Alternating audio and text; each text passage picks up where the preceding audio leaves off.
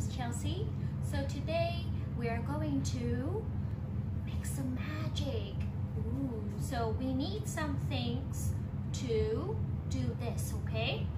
So first you need some white paper and we need this. What is this? This is a white crayon. It has to be white as well, okay? Or else the magic won't work.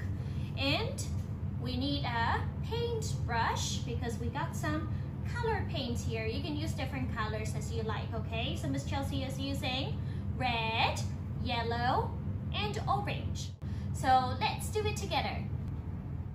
First, Miss Chelsea wants mommy or daddy to use this white crayon to draw some numbers, but we can keep it as a surprise, okay? So just write whatever numbers you think of, okay? From 1 to 10, of course, because yeah, you've just learned 1 to 10, right? And when you finish, we can put the white crayon on the side. Then, now we need the paintbrush, okay? So guys, now it's your turn. And we got some color paint on the plate already. And add some water. Miss Chelsea needs you to add some water there because we need it to be quite watery. And now let's get some color, mix it with some water. Okay, and then now we're going to paint it. Now we can mix some other colors as well, maybe red. Remember, we can mix colors. See? Red. Okay.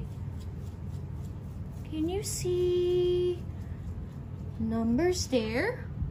Wait, it seems like Miss Chelsea can see one, two, three. Wow, magic. Is there any more numbers? Wow, so we have number one, two, three, four, five, six. Wow. So Miss Chelsea wants you to try this with mommy and daddy and see if you can see other numbers too. Maybe number 7 or even number 10. I hope that you guys enjoyed this section and I'll see you guys very soon. Bye bye.